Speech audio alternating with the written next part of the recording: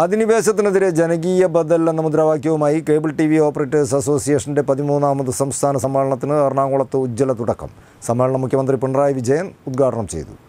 Television മാധ്യമ രംഗത്തെയും internet വിതരണ രംഗത്തെയും കുത്തകവൽക്കരിക്കുന്നതിനെതിരെ ലോകത്തിനു തന്നെ മാതൃകയായ ജനകീയ ബദൽ തീർത്ത കേരളത്തിലെ ചെറുകിട കേബിൾ ടി വി ഓപ്പറേറ്റർമാരുടെ കൂട്ടായ്മയായ കേബിൾ ടി വി ഓപ്പറേറ്റേഴ്സ് അസോസിയേഷന്റെ പതിമൂന്നാമത് സംസ്ഥാന സമ്മേളനത്തിനാണ് എറണാകുളത്ത് തുടക്കമായത്.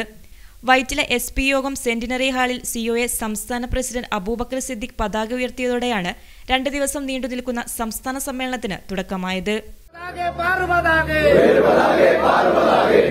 മുട്ട പാറുപതാകെ.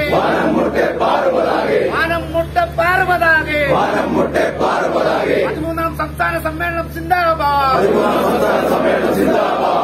സംസ്ഥാന സമ്മേളനം സിന്ദാബാദ്.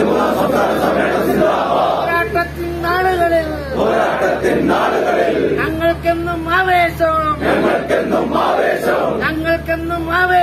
ഞങ്ങൾക്കെന്നും ആവേശം. സിഒഎ സിന്ദാബാദ്.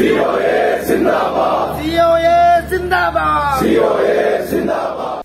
തുടർന്ന് നടന്ന ചടങ്ങിൽ മുഖ്യമന്ത്രി പിണറായി വിജയൻ സമ്മേളനം ഉദ്ഘാടനം ചെയ്തു. ഈ മേഖലയിലേക്ക് വൻകിട കുത്തക കമ്പനികൾ കടന്നു കയറാൻ ശ്രമിച്ചു.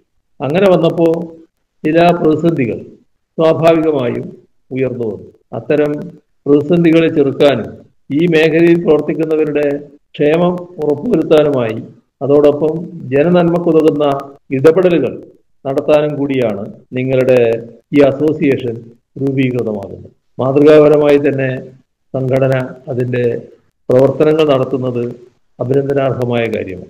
നാടിന്റെ പൊതുവായ നന്മ മുൻ- മുൻനിർത്തി അസോസിയേഷൻ വിവിധ ഘട്ടങ്ങളിൽ ഇടപെട്ടിട്ടുണ്ട്.